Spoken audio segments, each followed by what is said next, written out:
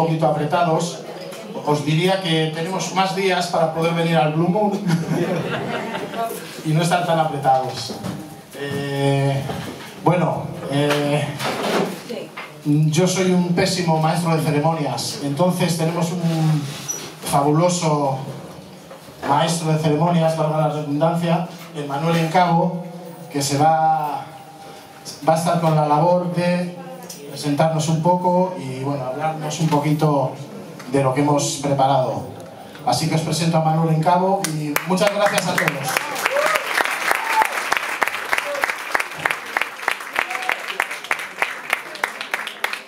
Muchas gracias. Gracias en, gracias en nombre de los muchos santanderinos que no han podido estar aquí esta noche, porque es un, es un momento de especial recogimiento para las personas que saben que un día como hoy, en el 2012, a una hora, dos y media,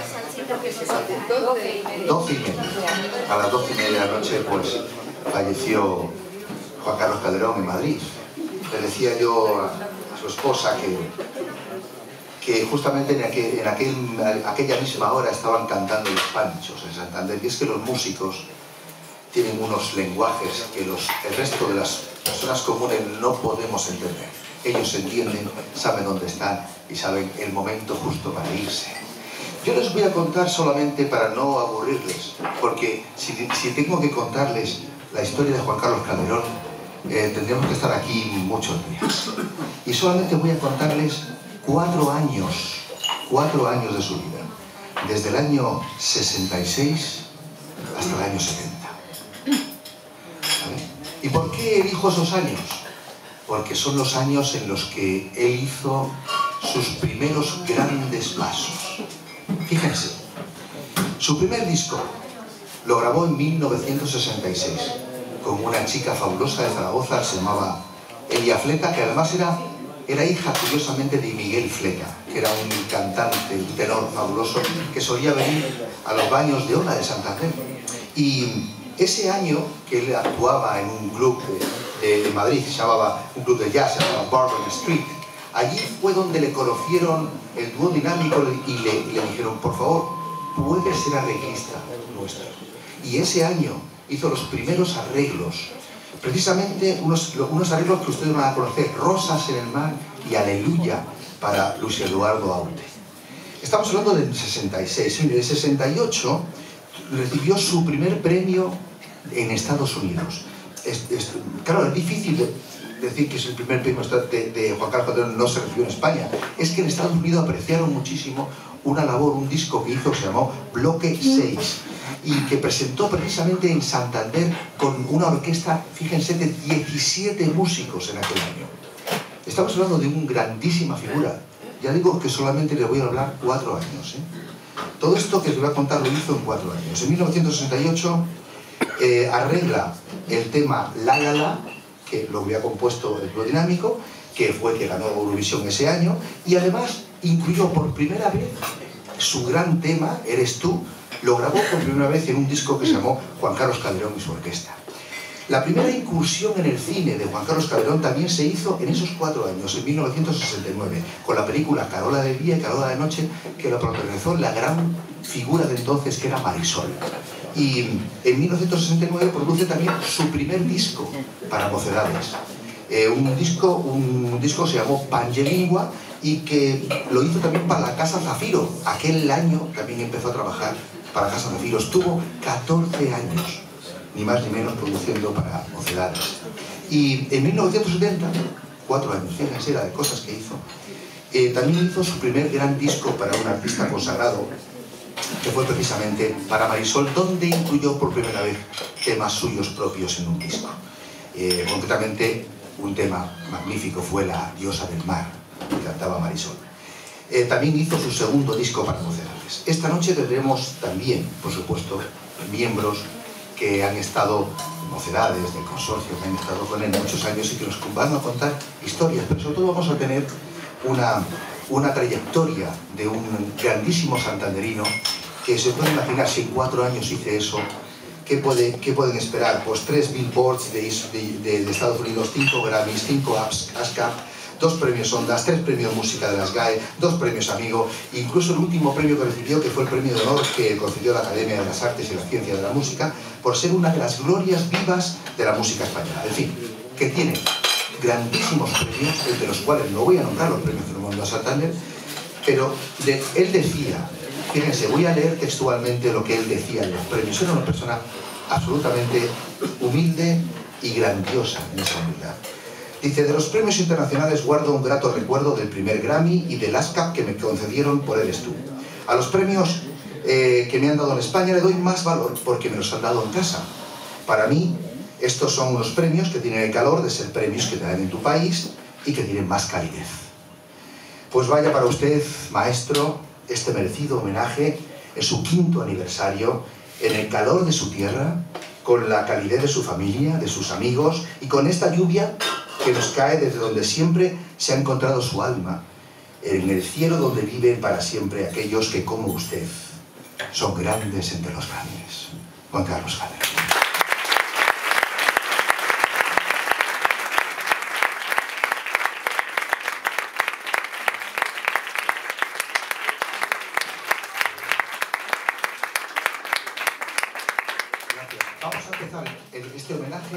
Hablando de años míticos para Juan Carlos Calderón. Vamos a empezar por un año curioso, 1999. En 1999 fue un año talismán para nuestro maestro porque produce para la mexicana Alejandro Guzmán y para Luis Miguel dos discos en los que se incluyen dos temas curiosos. ¿Por qué tengo que amarte? y el emblemático Amarte es un placer. Vamos a empezar, por tanto, con estos dos temas. ¿Por qué tengo que amarte? Se incluyó además en, el 2003 en el disco de Miriam Hernández, eh, que está hecho totalmente con temas de Juan Carlos Calderón. En el año 2008, ambos temas también se incluyeron en, los discos del grupo mexicano La Posta, que también fue producido por Juan Carlos Calderón, y especialmente en otro disco, también producido por nuestro maestro del consorcio, que se llamaba Querido Juan, donde había bolerazos como Había Olvidado y también este ¿Por qué tengo que amarte? La última producción que hizo el maestro Juan Carlos Calderón fue para la española Noemí Puga en el 2008, estrenando temas como Náufrago o Dueño del Alma, e incluyendo también este tema de Amarte es un placer. Así que para cantar este tema van a tener al gran maestro de bolero de Santander, un veterano bolerista que se llama Nanín Rodríguez. Un aplauso para él.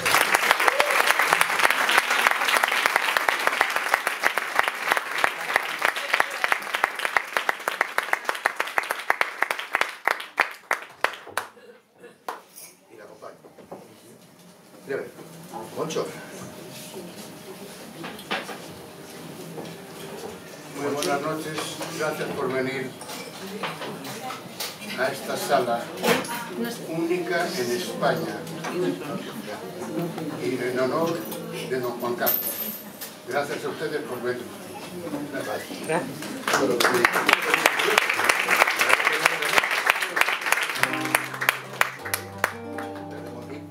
Vamos a esperar un que venga mucho si no, si no les parece mal, porque no tenemos, eh, no tenemos eh, sonido en estos micrófonos y seguramente ha entrado... ¿Le estás, le estás llamando, verdad, Tania? Voy, voy a aprovechar para decirle lo que decía Moncho. Es muy agradable, es muy agradable tener eh, esta calidez de estos lugares que yo le decía a la esposa de Juan Carlos Calderón, le decía que él seguramente le, le gusta más un homenaje en un sitio como este que en un teatro de mil plazas abarrotadas. Eh, por su carácter, seguramente esto que van a ver esta noche, les decía, esto que van a ver esta noche es muy de Juan Carlos.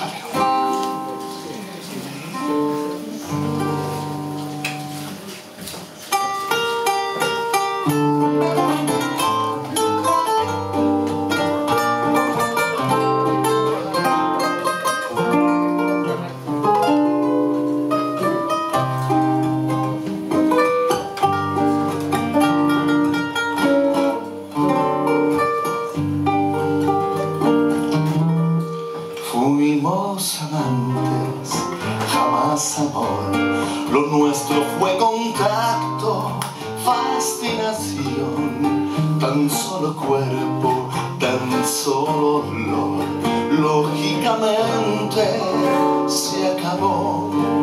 Fuimos amantes, llegó el adiós, las cosas que se olvidan, tu cuerpo no, pero de mentes nada pasó.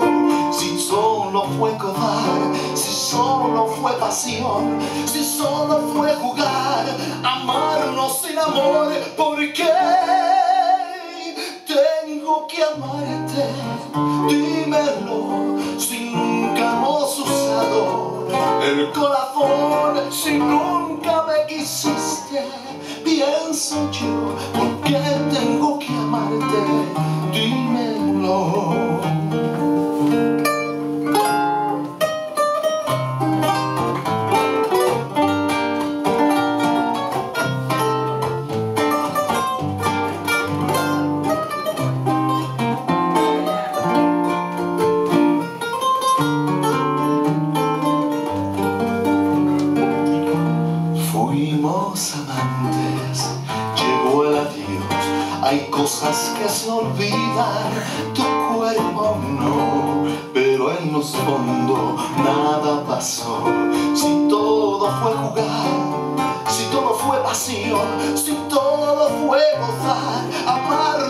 Amor, ¿por qué tengo que amarte? Dímelo, si nunca hemos usado el corazón, si nunca me quisiste,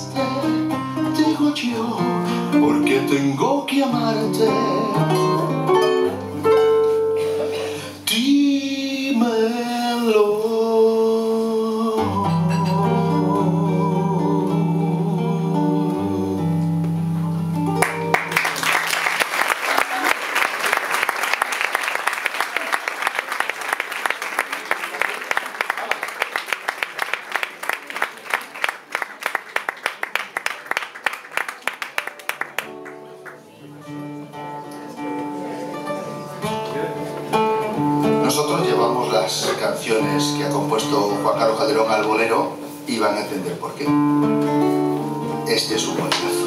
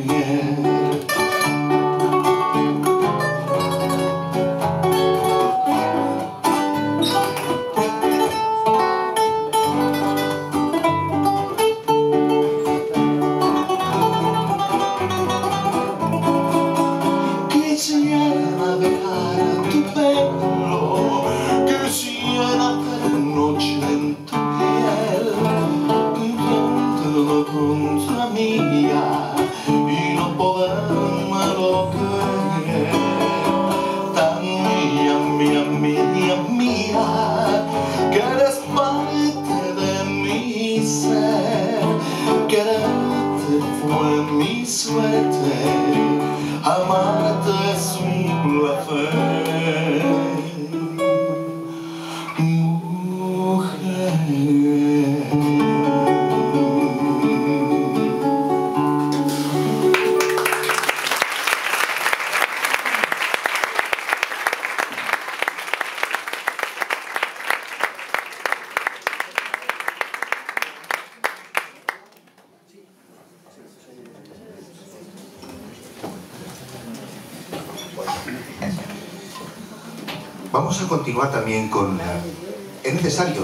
¿no? han visto de este último tema de Amarte es un placer, la inmensa labor que hizo Juan Carlos Calderón con figuras como Luis Miguel.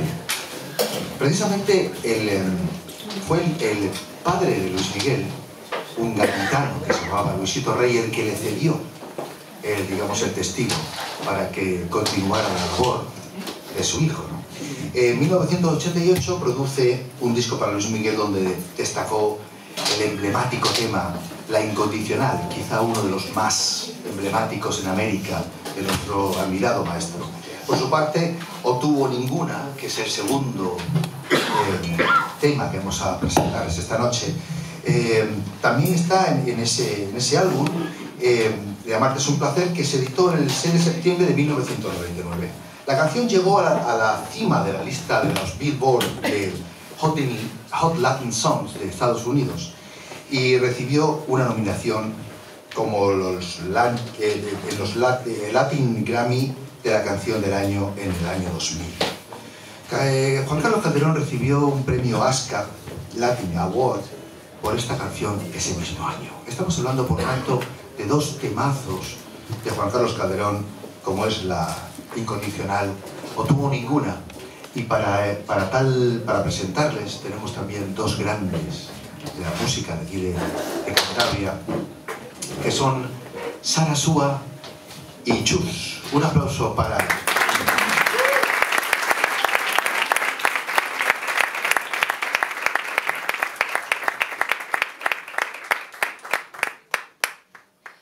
Bueno, bueno, muchísimas gracias. Para nosotros es un verdadero honor y placer estar aquí esta noche tan especial haciendo este especial homenaje a, a, Juan Carlos Calderón, este gran pianista y compositor de nuestra tierra y, bueno, la verdad es que vamos a tocar, como muy bien ha dicho Manuel, estos dos temas que, que lanzaron al estrellato a Luis Miguel, gracias a este gran artista. Así que cuando quiera mi guitarrista, vamos allá.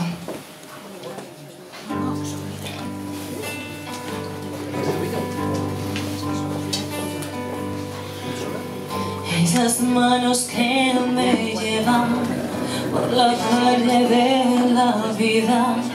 Esa cara que me obliga a mirarla de rodillas. Solo hay una solo hay una. O tú ninguna. Esa voz no creer en las sonrisas, ese pelo que me cubre como lluvia de caricias. Solo hay una,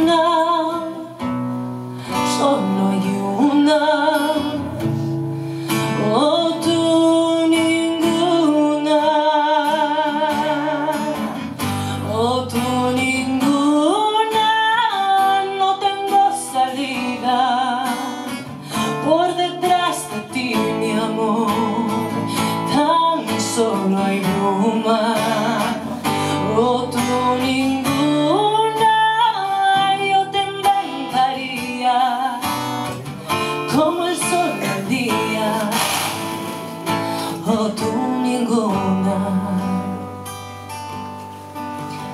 Esa que de puro honesta en el fondo te molesta esa que te admira tanto que te obliga